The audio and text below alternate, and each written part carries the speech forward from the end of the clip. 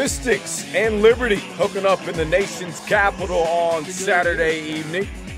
Crystal Langhorne feeling it early on. Langhorne underneath. Might have got away with a step there. Still puts it up and in. 12 points in the first half for her. Monique Currie up and under. Reverse me, please. She was making it happen. 20 on the night for her. 10 of those coming through the first two quarters. New addition, Cappie Pondexter. She can light it up. Pondexter. Knocking down the triple this time. 20 points on the night for her. It's a 59-47 ball game.